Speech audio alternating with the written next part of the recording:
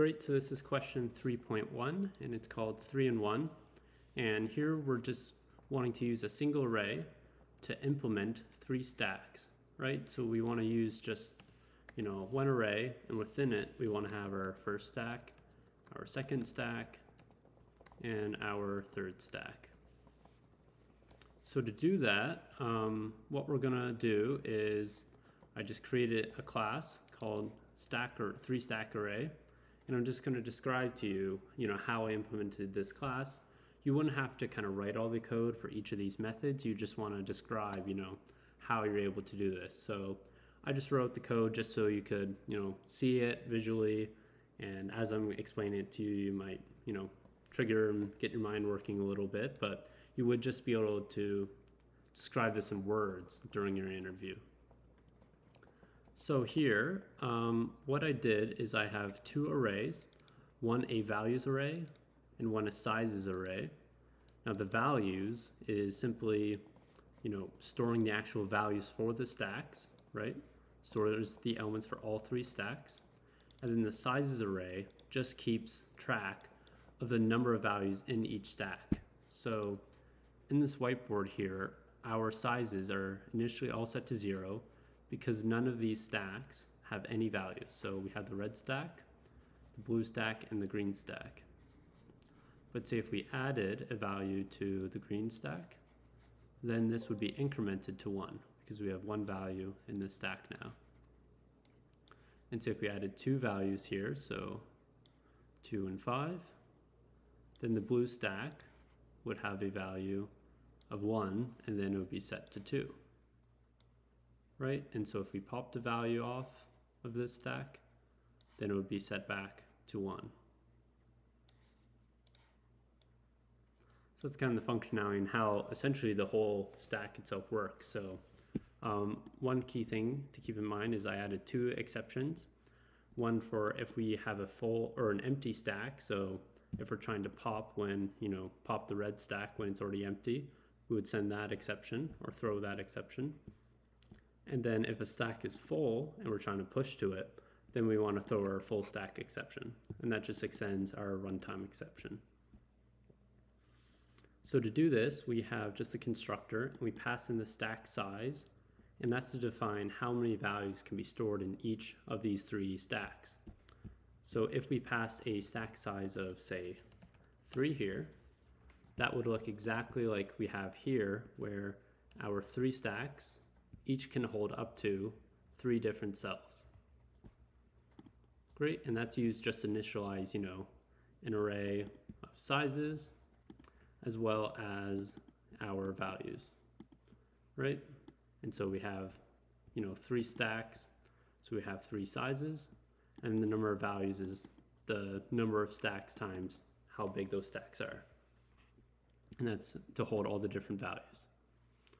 So if we want to push to our stacks, we pass in which stack we want to push to along with the value. And this is where we're going to check whether or not the stack is full or not. And so to do that, we just look at our sizes array and just say, okay, is it equal to our stack size? Right? So if we want to check if our blue one is full, which I'll make it full here, so if this is equal to 3, which is our stack size, then clearly it's full, right? So 3 is equal to 3. Next, what we do is when we do push, we just increment our stack size like we've been doing in our whiteboard, and then we just set it to the top value. Now to maintain this top value, we have this index of top method, and this is quite simple, where we first need to calculate the offset, which is just, okay, what number of stack we're dealing with, times the stack size. So we know the stack size is 3, because each stack can hold 3 values. And the stack num is just what you pass as a parameter, and say the stack nums would be these. So the red stack has a stack num of 0, blue stack 1, and the green stack 2. And so the offset for the blue stack would be 3.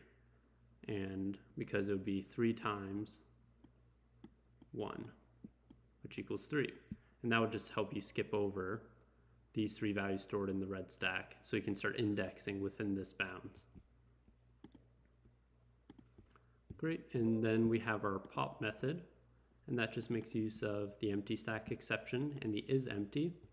And that does the same thing as like, you know, is full, where we just check if our size array for our given stack that we want to check if it's empty or not. If it's equal to zero, then we know it's empty, which would be this case here since we check the sizes at index zero for the red stack. We see that zero, so we know it's empty. If it passes this test, then we just grab the top index from our index of top method, and we want to pop from that. So that's here. And then we just decrement our sizes counter in our list. So just like this. We pop off the top one from the blue stack. We want to pop from here. then we just decrement this counter.